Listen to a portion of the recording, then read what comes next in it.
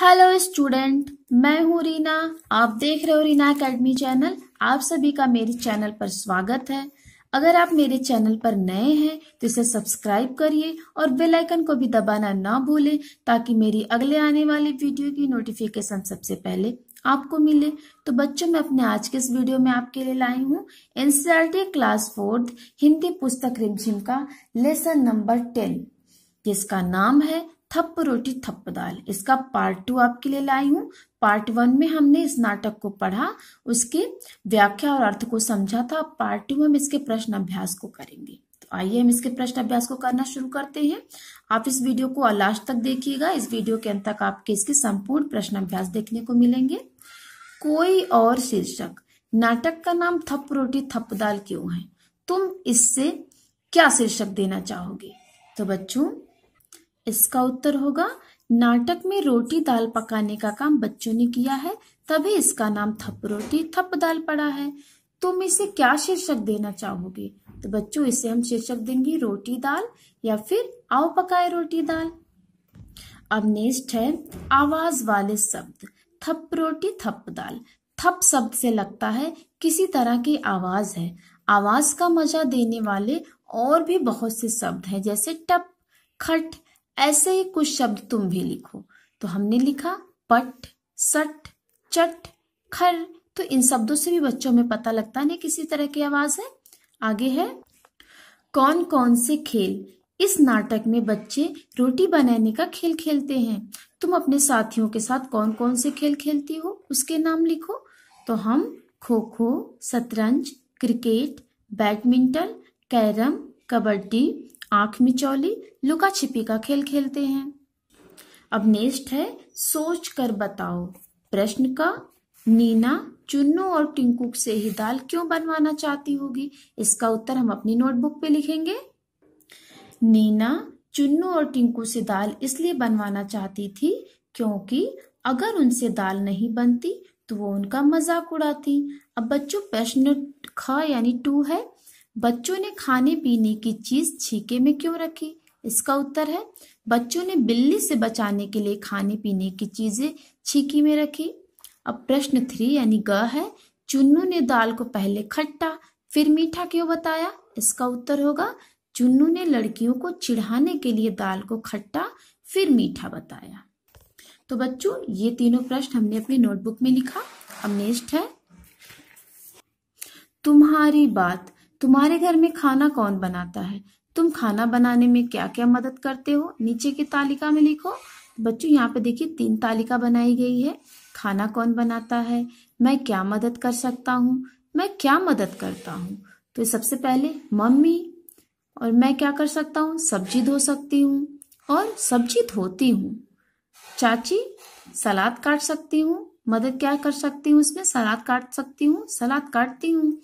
और बुआ सब्ज़ी छिल सकती हैं, मैं ये मदद कर सकती हूँ और करती भी हूँ सब्ज़ी छिलती हूँ। दीदी, चाय बना सकते हैं? मतलब दीदी अगर कोई काम कर रही हूँ तो मैं उनकी मदद कर सकती हूँ चाय बनाकर और मैं चाय बनाती हूँ। आगे है, तुम क्या बनाती? इन बच्चों की जगह तुम होती तो खाने के लिए कौन से तीन पकवान बनाती? उन्हें बनाने के लिए किन चीज़ों की ज़रूरत पड़ती? पता करो और सूची बनाओ। तो पकवान का नाम किन चीज़ों की ज़रूरत होगी? तो बच्चों, मैं खीर, हलवा और पूड़ी बनाती।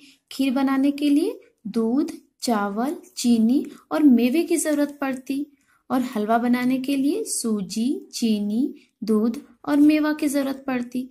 पूड़ी बनाने के लिए आटा, नमक, अजवाइन और तेल और साथ में पानी की भी ज़रूरत पड़ती। बच्चों, ठीक है? पानी से हम आटा को गूंदते नमक, अजवाइन डालकर फिर तेल में हम गरम गरम पूड़ियाँ तलते। आगे है, मट्ठा बनाए।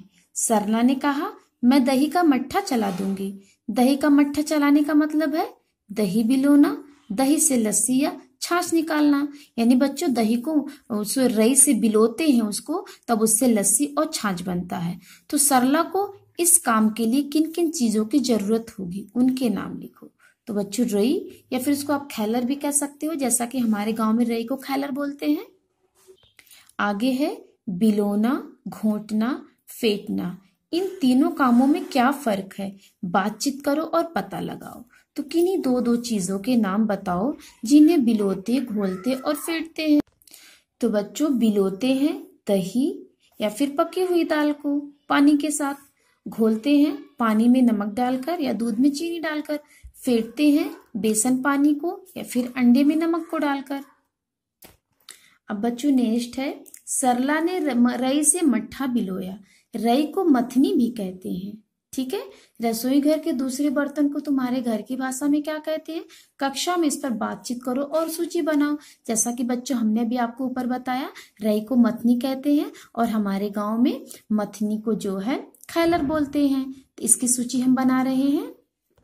तो देखिए बच्चों, रई को हमारे गाँव में खैलर बोलते हैं। प्लेट को छीपा, कलछी को कलछुल और पौना को पौनी। तो इस तरह से अगर आपके घर की भाषा में और भी किसी बर्तन को किसी और नाम से बताते हैं, उसके यूज़ करते हैं, उसको बुलाने में तो आप उसे भी लिख सकते हो। जैसा कि ये सूची हमने बनाया, आप अपनी भी सूची बनाइए। अब नेक्स्ट है, आओ तुकबंदी करें। नाटक में बच्चों ने अपनी बात को कई बार कविता की तरह कहा है, जैसे, टिंकू ने पकाई बढ़िया, चुन्नू ने पकाई दाल, टिंकू की बढ़िया जल गई, चुन्नू का बुरा हाल। अब तुम भी नीचे लिखी पंक्तियों में कुछ जोड़ो। तो आइए हम पंक्तियों को जोड़कर, अधूरी पंक्तियों को कंप्लीट करते हैं। घंटी बोली टन टन टन, हमने बनाया चूड़ी खन के खन खन खन। अब नेक्स्ट है, कहाँ चले भाई, कहाँ चले? आगे हमने इसमें बनाया, दो, तीन, नहीं, चार भले। रेल चली भाई, रेल चली। मची यात्रियों में खलबली कल की छुट्टी, परसों इतवार। क्या होगा जब आएगा सोमवार? रोटी दाल पकाएँगे, सबको खूब खिलाएँगे। तो बच्चों, ये हमने कविता को कंप्लीट किया। आप सब इसे अपने अपने हिसाब से भी लिख सकते हो या फिर इसे लिखिए, जो भी आपको अच्छा लगे। तो बच्चों, ये हमारे संपूर्ण प्रश्न अभ्यास पूरे हुए। ओके बच्चों थैंक यू मिलते हैं हमारी अगली वीडियो में।